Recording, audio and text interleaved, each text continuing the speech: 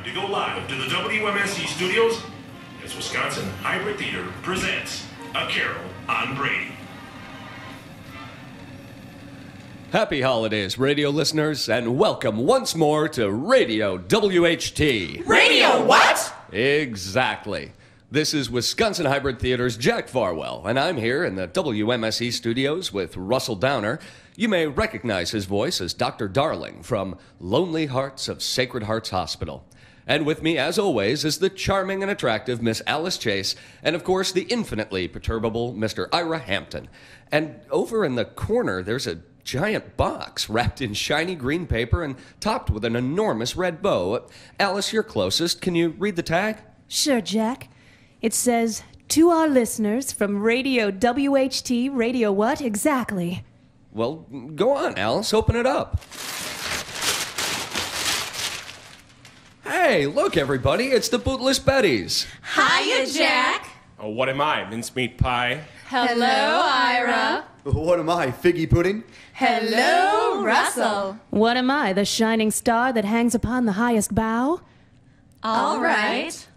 Uh, ladies and gentlemen, and you, Tommy, and you, Mary, Frontier Radio Theater and Radio WHT proudly present Milwaukee's Bootless Betties.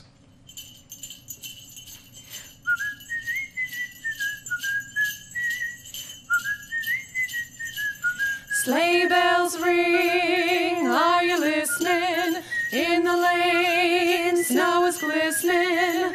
A beautiful sight, we're happy tonight. Walking in a winter wonderland. Gone away is a bluebird, here to stay is a new bird. We sing our love song as we go along, walking in a winter wonderland. In the meadow he can build a snowman and pretend that he is Parson Brown. He'll say, Are you married? We'll say, No, man. But you can do the job while you're in town. Later on, we'll conspire as we dream by the fire to face unafraid all those plans that we made, walking in a winter wonderland. Over the ground lies a mantle of white, a heaven of diamonds in the lovely night. Do, do, do, do, do, do.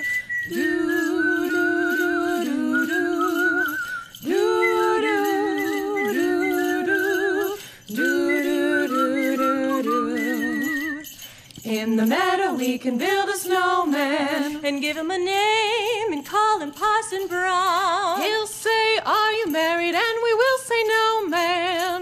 But you can do the job while you're in town. Later on, baby, we'll conspire as we dream, sitting by the fire.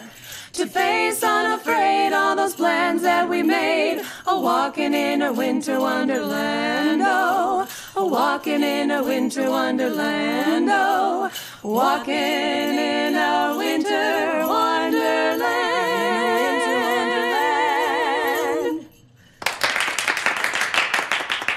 Thanks, girls. That was really winterific. All righty. Without further ado, ladies and gentlemen, let's begin our story. Radio WHT presents A Carol on Brady, starring yours truly as Scrooge. Extra, extra, read all about it. I say, boy, what's the news? Marley is dead. Marley's dead. Marley's dead. I can't believe it. Dead. Marley? Dead?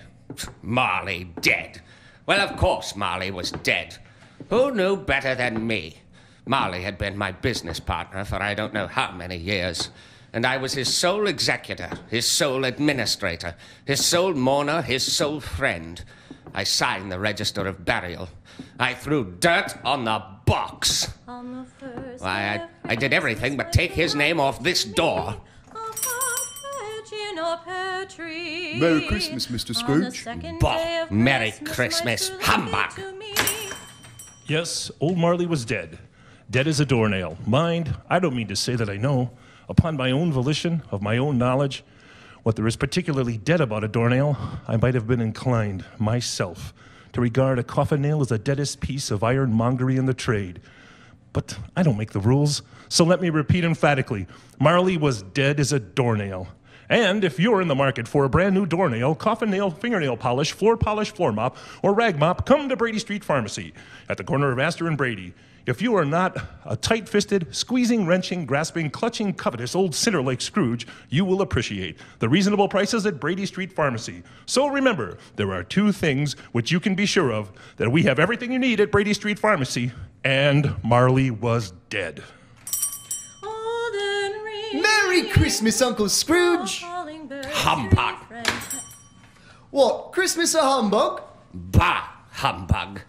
Come, Uncle, is that all you will say? No, I will also say this that every idiot who goes about with Merry Christmas on his lips should be boiled in his own pudding and buried with a stake of holly through his heart. Uncle! He should. Uncle! Nephew, what right have you to be merry? You're poor enough. What right have you to be miserable? You're rich enough. You keep Christmas in your way and let me keep it in mine.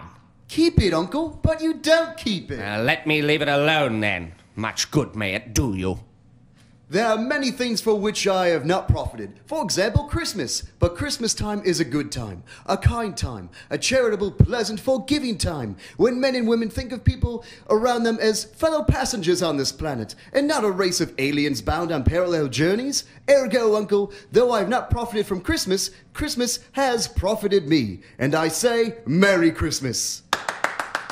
Thanks for that, Bob. Another son from you, Cratchit, and you can keep your Christmas by losing your job. Don't be angry, Uncle. Come dine with us tomorrow. Good afternoon, nephew. It'll be fun. We'll play some games. Good afternoon. Blindman's bluff, maybe a little yes or no. Good afternoon. Merry Christmas to you then, and a Happy New Year, Uncle. Cratchit, you lunatic, close that door before you let in the. Dagnabbit, too late. Scrudge and Marley's, I believe.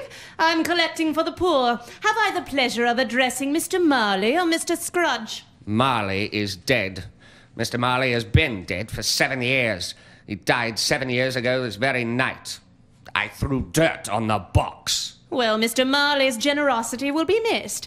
Everyone says there is no one more generous than Mr. Marley, except for Mr. Scrudge. Scrooge, madam.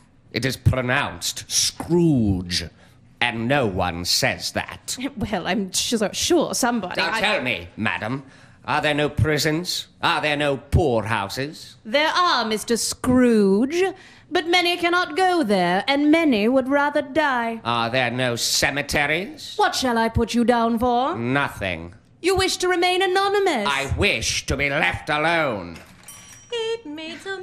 Very well, Mr. Scrooge. Merry Christmas. Bah! And you!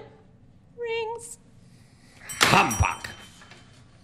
Oh, Mr. Scrooge. Uh, yes, Cratchit. You, Yeah, I- you wanted to say something? Right, about... about- tomorrow. Yeah, was- You'll want the whole day off, I suppose. Well, my family is- Actually, no, it's not convenient, and it's not fair. Would I be fair to not pay you and expect you to work? I suppose not. But you don't work, and yet you expect me to pay you? Christmas. Ah, poor excuse for picking a man's pockets every 25th of December. But I suppose you must have the whole day. Be here all the earlier the next morning. It was dark on the way home. Dark is cheap, and I like it. No one spoke to me along the way. No, how are you, Mr. Scrooge? No, what's the time, sir? Not even spare a tuppence. Blind man's dog saw me and tugged his owner into a doorway. It was the very thing I liked. I reached my front door, where the fog and frost hung so thick and dark that everything was hidden in shadow. Everything but the door knocker. I had seen that knocker night and morning during my whole residence in that place, and there was nothing very unusual about it, except that it was large. Very large. And glowing. Large and glowing, and when I placed my key in the lock of that door, I saw in that knocker not a knocker, but Marley's face. Marley's face, its ghostly spectacles resting on its ghostly forehead, its ghostly hair curiously stirred as if by breath or hot air, and glowing like a lobster in a dark cellar. I walked in and shut the door and locked it.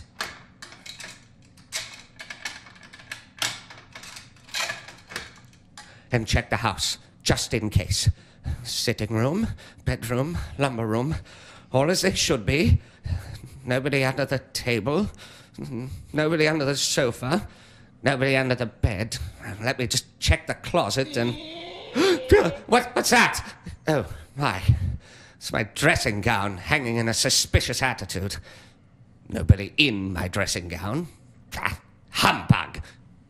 Ladies and gentlemen, we wish to pause our narrative for a moment at this point to warn our younger and more sensitive listeners that the following scene contains subject matter which some may find potentially disturbing and troubling, and that subject is indigestion.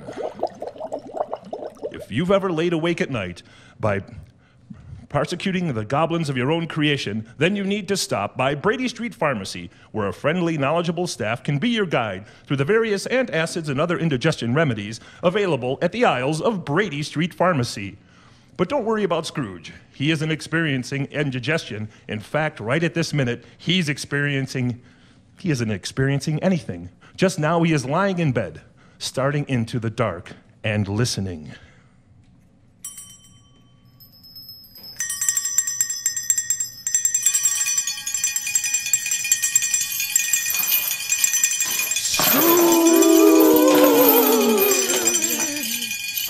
You. You're Jacob Marley. Or rather, you were Jacob Marley, and now you are transparently the ghost of Jacob Marley. May I sit? Can you sit? I can. Well, then do it. Ooh. You don't believe in me. You see me. You hear me. I am sitting in your chair. Why do you doubt your senses? Because a slight disorder of the stomach makes them cheats. You may be no more than an undigested bit of beef, a, a blot of mustard, a crumb of cheese, a fragment of underdone potato. Scrooge! Enough! I believe in you. I, I believe in you. Why are you here? I was you once, Scrooge. I was you before you were you. And if you continue to be you, you will become me. All right. Glad you asked. I wear the chain I forged in life. I made it link by link. Are you impressed? You wouldn't be if you could see your own chain. I can see it. It is a ponderous chain. Oh, Jacob, speak comfort to me. I cannot give comfort, Ebenezer. I cannot take comfort. I cannot rest. I cannot stay. I cannot linger anywhere. And yet you sit here in my chair. But I'm not really supposed to. You still have not told me why you're here. I came here to warn you that you have yet a chance and hope of escaping my fate. You will be haunted by three spirits. Without their visits, you cannot hope to shun the path I trod. Expect the first tomorrow when the bell tolls one.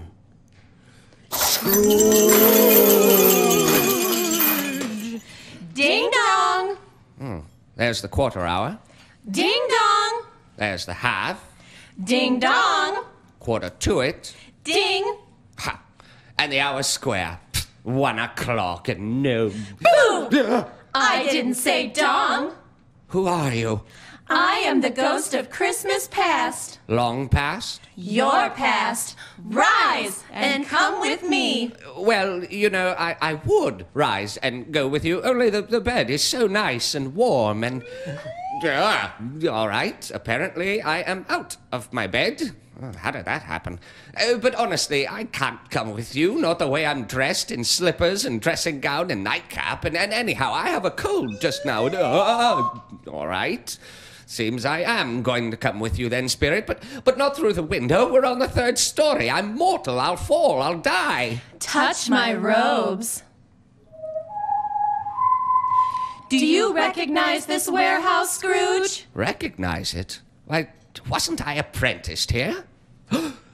It's, it's old Fezziwig. Oh, bless his heart, it's Fezziwig alive again. Ha! You, ho there! Quitting time, Ebenezer! Quitting time, Dick!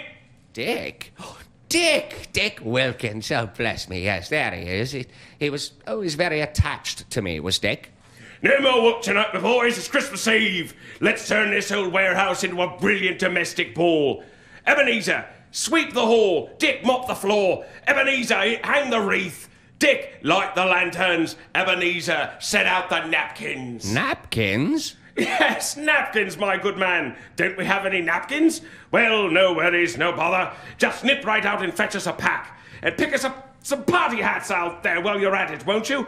Oh, don't just stand there, Ebenezer. You know where to go. You know you can find whatever you need at Brady Street Pharmacy. Napkins, plates, even party hats are all in stock right now at the Brady Street Pharmacy in Milwaukee, at the corner of Astor and Brady Streets. Brady Street Pharmacy and Radio WHT would like to take this opportunity to remind you at this busy time of the year, slow down and cherish, cherish every moment as it is happening. Otherwise, that big holiday party that you've been planning and looking forward to for so long may be, may be over soon, and you will have missed everything but saying good night to your guests. Good night, everyone. Thanks for coming. Thank you. Good night, Dick. Good night, Ebenezer. Merry Christmas, boys. Oh, good old Fezziwig. Silly mortals. Silly? So thankful. So grateful. so appreciative. For what? A party? With paper napkins. It isn't that. It, it isn't that, Spirit. He has the power to render us happy or unhappy, to make our service light or burdensome, a, a pleasure or a toil. Why, the happiness he gives is quite as great as if it cost a fortune. A fortune? Hmm. I should like to say a word or two to my clerk, Bob Cratchit, just now. I'd like to tell him. Scrooge! Be quiet. Shh! My stories are on. Join us now as we tune in again to another heart-rending episode of Shadows of the Past. Spirit, no, switch the station. With Belle as the pretty but penniless orphan, still mourning the death of her parents, and her ambitious fiancé, Ebenezer. Cruel spirit, what happens now? And now, Shadows of the Past, starring Scrooge. Yes, Ebenezer? No, Belle, no. Stop protesting. You must understand that I'm only doing this for you. I'm releasing you to be with your true love, money. You are rejecting me, Belle, because I want to better myself. I'm not rejecting you. I'm releasing you. Have I ever sought release? That is not the question. What is the question? To be or not to be? If you had to start all over with me, if we could go back to the beginning, would you? I was a boy then. And now you are a man. You've said so. You understand that money can't love you back. You do understand that, don't you, Ebenezer? For a long time I thought that gave me an advantage. I was wrong. Are you trying to hurt me, Belle? A little. I do hope that you will feel a little pain, or feel something. Maybe you will hurt, but only until the banks open on Monday morning. Then you will forget all about me, until I become no more than a shadow of the past.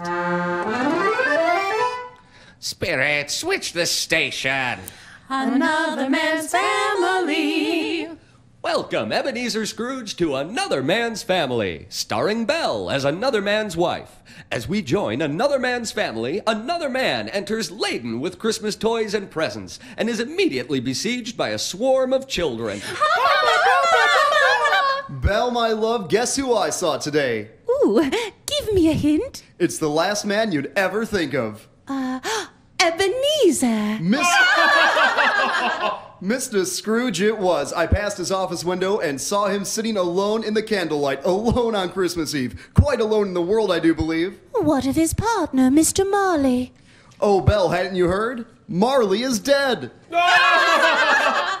Or dying, rather, could be dead. Good as dead, not full out dirt on the box, coffin nail dead yet. Well, I'll be surprised if he lasts the night, and I should know, after all, I am a world famous physician. Yes, you are. I certainly did marry a smart, rich man who also loves me very much. Come, children, and wish your father Merry Christmas. Merry Christmas, Papa! Papa, Merry Christmas! Spirit, switch the station. Yes. Well, back in my own bedroom. In my own bed. Oh, well, that was certainly the. ma- hmm. In the nick of time. The hour of one. Come now, Spirit, be my guest. I'm waiting for you. Spirit, sweep out the curtains from my bed and show yourself. Why won't you show yourself? Where is that ruddy music coming from? Ah, I, I think it's coming from the other room.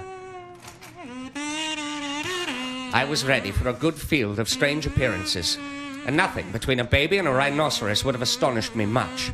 Still, I was not prepared for the ghost of Christmas present. Come in, man, and get to know me. The spirit was wearing an antique scabbard, but no sword, and relaxing on an uncouth throne of heaps of turkeys, geese, game, poultry, brawn, great joints of meat, suckling pigs, long wreaths of sausages, using as sausages. Mince pies, plum puddings, barrels of oysters, red hot chestnuts, cherry checked apples, juicy oranges, luscious pears, immense twelfth cakes, and seething bowls of punch that made the chamber dim with their delicious steam. And before a man can say Jack Robinson, we stood in the city street upon a Christmas morning. The house fronts looked black enough, the windows blacker, and the white sheet of snow covered the roofs like sugar gravy. And faster than a woman can change her mind, we traveled to cities and villages around the world. And in every home, there were people gathered to share a meal, and over each meal, the spirit played his horn. Is there a particular flavor in what you blow from your horn? There is my own. Would it apply to any kind of dinner on this day? To any kindly given, to a poor one most. Why to a poor one most? Because it needs it most. Excuse me. You did, sir. Sir, I did not. Then do, or move on. Oh, I'm so sorry, sir. I was impossibly wrong. Sir, nonsense. It was I who was wrong, and I apologize. Oh, imagine. Us Arguing. on Christmas Day. Preposterous. Ridiculous. Where was I? Uh, because the poor need it most. Uh, where are we? At your clerk's house. Cratchit. Bob Cratchit's house, blessed by your horn. Oh, children! Your father will be home presently, and Tiny Tim with him. So listen carefully. Uh, oh, Belinda, help me lay the table. Peter, mash those pa- those potatoes. Oh and, oh, and mind your cuffs and collar. They belong to your father, remember. Oh, and keep an eye on your younger brother and sister. oh, uh, where is your oldest sister, Martha? Yes, Martha. Here she is, Mother. Martha, Martha, look, there's such, Such a a goose. goose. Hide, Martha. Hide. Here comes Father. Hide. Hide, hide. Hello, Father. Hello, children. What, what where is our Martha? Not coming. Not coming. Not coming. Not coming. Not coming. Not coming. Not coming upon Christmas Day. Oh, Bob, she's hiding right here. Here she is, Martha, Father. She, was hiding. Oh, honestly, Robert, you are oh so gullible and credulous as well. Tiny Tim, Tiny Tim. Tiny Tim, there's a goose. A goose, Tiny Tim, a marvelous goose. And, And pudding. Brady Street Pharmacy and Radio WHT would like to take this opportunity to remind you at this busy time of the year to slow down and cherish every moment as it is happening. Otherwise, that big holiday family dinner that you have been preparing and looking forward to so long may soon be over, and you will have missed everything but the pudding. Hello. The pudding is out of the copper. Uh, can you smell that? A smell like an eating house, and a pastry cook's next door to it, and a laundress is next door to that. That was the pudding, like a speckled cannonball, so hard and firm like a speckled cannonball, blazing in half of a half a quartern of ignited brandy. To the pudding. to the pudding. To Christmas. To Christmas. To our family. To us. God bless us, everyone. Spirit, tell me if Tiny Tim will live. I see a vacant seat and a crutch without an owner. No, no, kind spirit, say he will be spared. Say he will be spared. Mr. Scrooge, I give you Mr. Scrooge, the founder of our feast. If he were here, I'd give him a piece of my mind to feast upon, and I hope he'd have a good appetite too. My dear, the children Christmas Day. To Mr. Scrooge. To Mr. Scrooge, the founder of the feast. I'd like to found his feast. Scrooge, we must go. Oh, must we leave them so miserable? Oh, they cheer up when you leave. Don't let go my robes.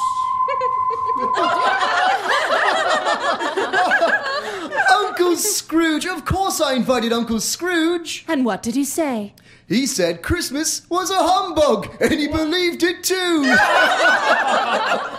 Uncle Scrooge may not like Christmas. He may not even like me. So what's the harm? He didn't lose much of a dinner. Oh, it was an excellent dinner.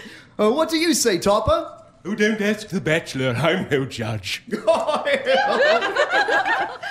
Oh, either way, you just see. I will go back to Uncle Scrooge every Christmas year and wish him a Merry Christmas and invite him here for Christmas dinner. He can't resist forever. I think I shook him yesterday. oh, oh, who's up for a game? Oh, oh that's a lovely idea, Fred. I think that's great. Oh, it's a lovely oh. evening for a game of blind man's bluff. Oh. Topper is the blind man tonight, and the players are in position. And here we go. Fred calls out, Here, Topper, Topper, Topper! and Topper jumps for joy. Fred tousles Topper's hair, and Topper is caught holly in the ivy. Fred spills the table. Topper makes a lunge at Fred. Oh, but wait. What is this? Yes, it seems. Topper is feeling merry. Um, all right, enough of that game. Let's play yes or no. Yes! No. Is it an animal? Yes! A live animal? Yes! A disagreeable animal? Rather, Yes or no? yes. Is it a savage animal? Yes. That growl. Yes. And grants? Sometimes. Hey, yes or no? Yes. And talks sometimes. And lives in London. And walks the street? Yes. Uh, he's made a show of. No. Is it lead? No. Does it live in a zoo? No. Killed at market? No. Is it a horse? Or a cow? Or a bull? Or an ass? No. A tiger? A dog? Oh, a cat! A pig? No. I know, Fred. I know what it is. What is it? It's your Uncle Scrooge. yes! to his health. To his Merry Christmas. To Uncle Scrooge. Scrooge.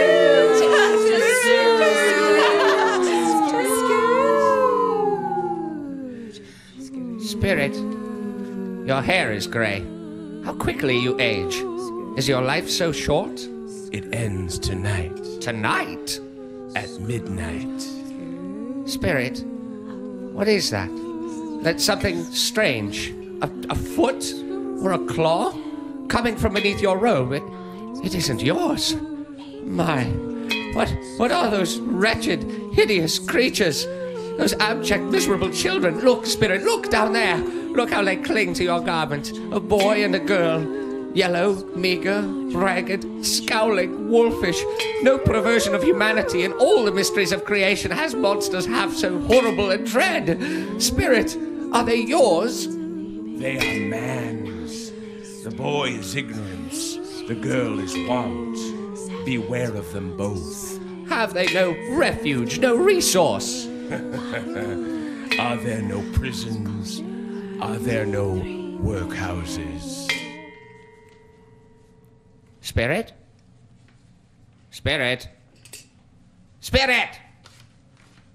Spirit? I am in the presence of the ghost of Christmas yet to come. You are about to show me shadows of the things that have not happened, but will happen in the time before us. Is, is that so, Spirit? Ghost of the future, I fear you more than any spectre I've seen. but your purpose is to do me good, and I hope to live to be another man from what I was. I am prepared to bear your company and do it with a thankful heart. Will you not speak to me? Very well. Lead on. Lead on.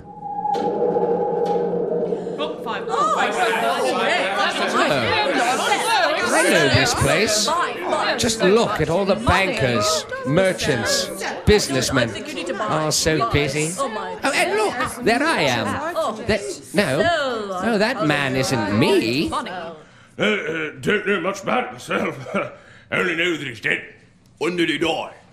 Uh, last night, I believe. I thought he'd never die. what was the matter with him? God knows. Uh, Oh, what, what has he done with his money? don't know. Didn't leave it to me. That's all I know. That's going to be an awfully cheap funeral. I don't know anyone's planning to go. Well, I guess we could all volunteer to show up. Oh, I don't mind if lunch is served, but only if there will be lunch. Spirit, of whom do they speak? What sort of riddle is this? Uh, Why do you show me the. Oh, oh, hey! Spirit, you've taken me now to this low-brow pawn shop in a horrible part of town. About as far from the financial district as you can get, though not so far by your powers. All right, what do you have to say then? Don't you judge me then. If he had wanted these things after he died, he might have been more natural when he was alive. It's no sin. Go on, Joe. Open the bundle. Tell me what it's worth. All right, what is it then? Bed curtains? Bed curtains. Yes. And his blankets in a shirt. His nicest shirt, too. Not an hole in it nor a threadbare place. Can you believe they almost buried him in that? Spirit, where are we? I can barely see. Uh, This room is so dark. I, I cannot make out anything but lying there on the bed, unwatched, unwept, uncared for, the body of this man. Who is it, Spirit? Or, or rather, who was it? I'm standing near enough to take the sheet from his face, yet I am powerless to do so. Spirit, if there is any person in this town who feels emotion at this man's death, pray, Spirit, show me that person. Don't cry, Mother. Mommy, why are you crying? We must pay the rent. But we can't pay oh, the rent. But we must pay the rent. We'll just have to wait until your father gets home and tells us what he said. Did you get to see him? What did he say? Oh, I did get to see him, but he said nothing. He would not hear my case. But why not? He's dead! He's dead? Spirit, you knew what I meant. Let me see some tenderness connected with a death. Cratchit's house. Tiny Tim. Oh, poor Tiny Tim. See? See how his brothers and sisters crowd round his little bed? And his face, so calm and tranquil, like he's sleeping in heavenly peace. Which he is now. He's an angel looking down from a bright and happy heaven. I am sure none of us shall forget poor Tiny Tim when we recollect how patient and how mild he was.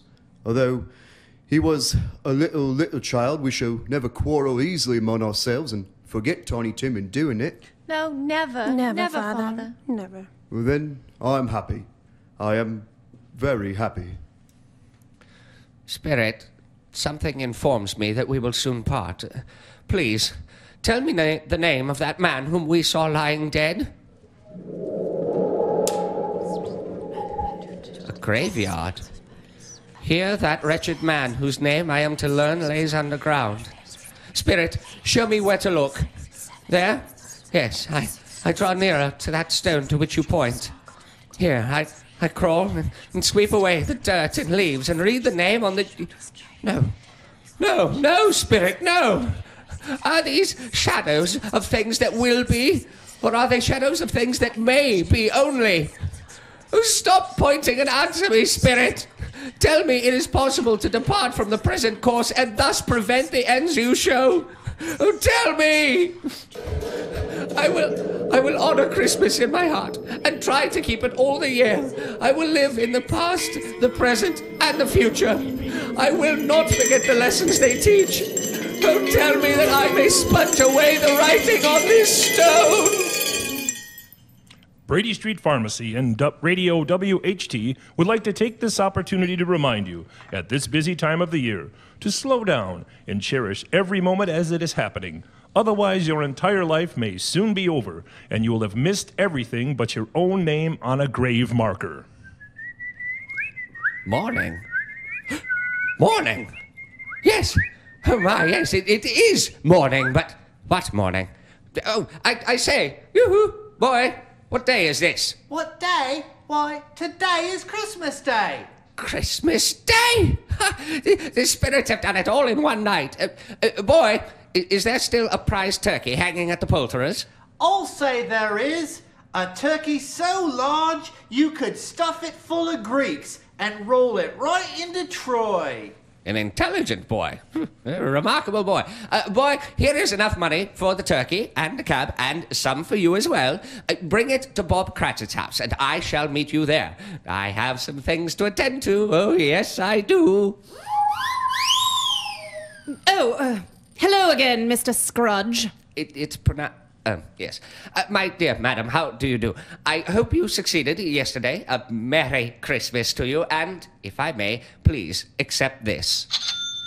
Oh, Thank you, Mr. Scrudge. I, I don't know what to say to such Oh, munificent. don't, don't say anything, please. Just come to see me tomorrow. I cannot linger. I'm off to Bob Cratchit's house to see Tiny Tim. But first.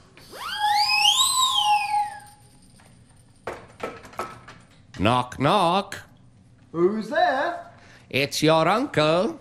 My uncle who? Your Uncle Scrooge.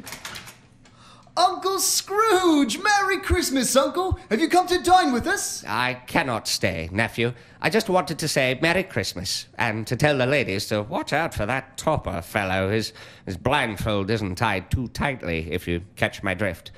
Uh, But now I am off to Bob Cratchit's house to see Tiny Tim. But first.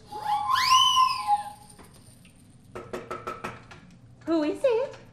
It's an old friend, Belle. Ebenezer. Merry Christmas. Merry Christmas, Belle. I've come to ask you to come and dine with me at the home of Bob Cratchit. His son is a little cripple boy, Tiny Tim. I thought I might introduce him to your husband, the world famous physician. Uh, Tiny Tim is the nicest boy, Belle.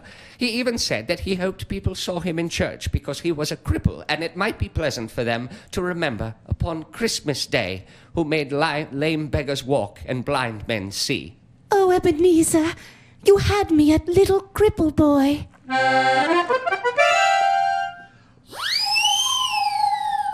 Ah, well, here we are at Bob Cratchit's house. Uh, uh, be very quiet. I, I want to play a little joke on him. Who is it? it is your employer, Mr. Cratchit. I have changed my mind about giving you the day. But, sir- You may either report to the shop immediately, or I shall be forced to raise your salary. Oh, sir, sir. I've never been more serious, Cratchit. Oh, Yeah, Bob, uh, Merry Christmas. And a far merrier Christmas than I have given you in many years. Uh, the turkey shall be here any moment. Uh, uh, this is Belle, and her husband, the world famous physician. And, oh, and where is your son, Bob? Uh, Oh, he's right Where there. is Tiny Tim? Oh, he's right Oh, there. I dare say I see him there. Uh, Merry Christmas, Tiny Tim. Do you have anything to say? God bless us, everyone. You have just heard Radio WHT present A Carol on Brady, presented by Charles Dickens. A Christmas Carol was adapted for your imagination by Charles Summers and Wisconsin Hybrid Theater.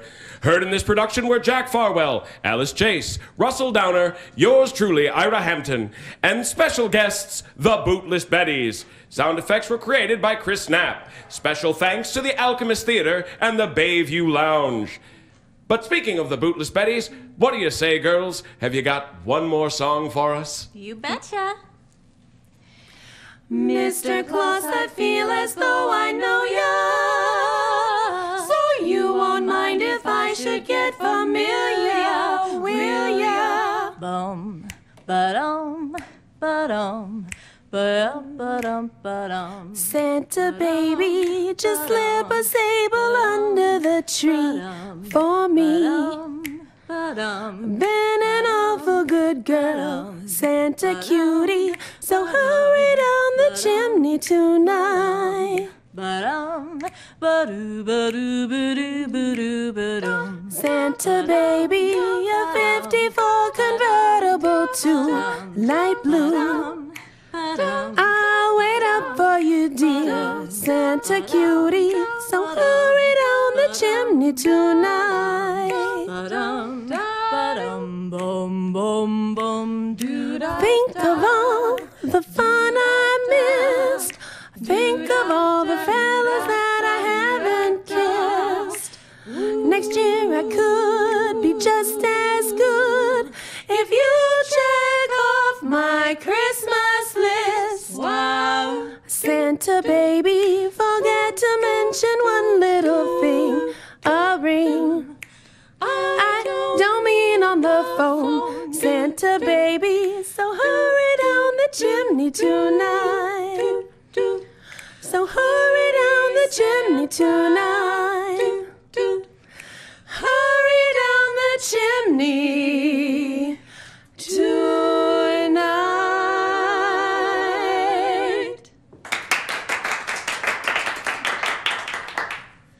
This has been a joint production of Frontier Radio Theater and Radio WHT. Radio what? Exactly.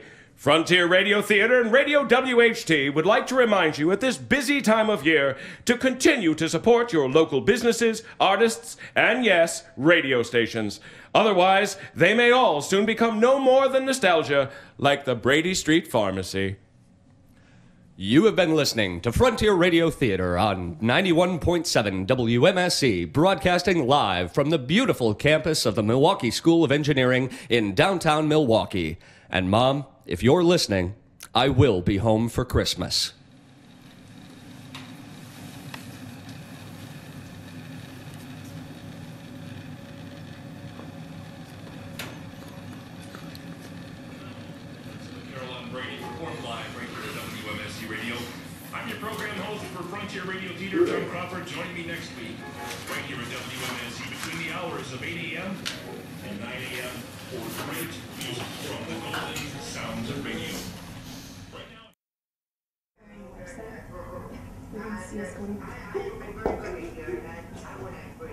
It's not going live. Oddly enough, that is good person. He's gonna give you your, your cue.